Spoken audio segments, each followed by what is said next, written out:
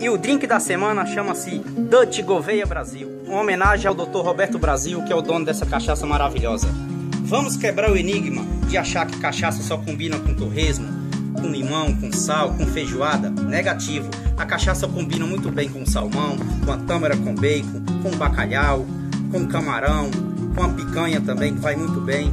E hoje eu vou fazer esse drink chama-se Dutch Martini, é uma releitura do Dry Martini, que é o coquetel mais famoso do fazer uma mistura de um Noli Prat, que é um vermute francês, com a calda de azeitonas, com uma cereja e com uma ginja, onde nós vamos ter o encontro do doce com o salgado.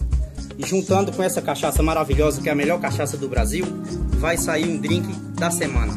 Vamos iniciar? Primeiramente eu já tenho a taça já pré-gelada. Vou aqui já gelar o mix também. Deixar super gelado para o drink ficar também geladinho e quanto mais gelado melhor para se degustar, né? Tirar o excesso dessa água do gelo. Vamos colocar aqui generosamente uns 40 ml de Gouveia Brasil, a melhor cachaça do Brasil.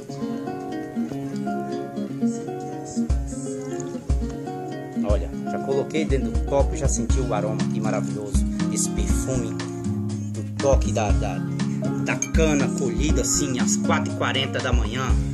No orvalho. Olha, é, são histórias que é fantástico demais para contar. Vou colocar uma sombra de Noli Prat, um vermute francês.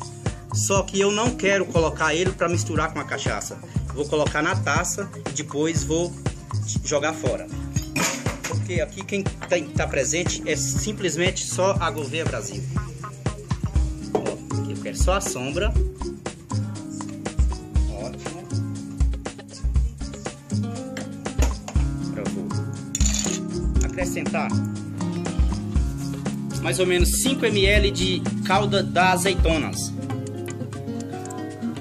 Só para poder dar aquela tinchida na, no drink por que chama Dutch? Dutch vem da, do gaélico, traduzindo chama-se turvo, uh, escuro, turvo, mais ou menos por aí, né? E... Ótimo. A taça já está totalmente suada. Tá, pra cá. Geralmente na, nos campeonatos também tem esse detalhe. Quando você fazer drink, não pode faltar nada e nem passar também, né? Tem que ser na medida exata. Uh, vou decorar, como eu disse, com a cereja, com a azeitona e com a ginja, onde vai ter o encontro do doce com o salgado pra gente apreciar legal. Vou aromatizar com uma folha de hortelã. Não vou amassar ela, Vou simplesmente tapinha para desprender esse cheirinho gostoso que ela tem e ao mesmo tempo decorar. Está pronto o drink. Parabéns, Dr. Roberto Brasil, em homenagem à sua cachaça Gouveia Brasil. Um grande abraço. É o drink da semana.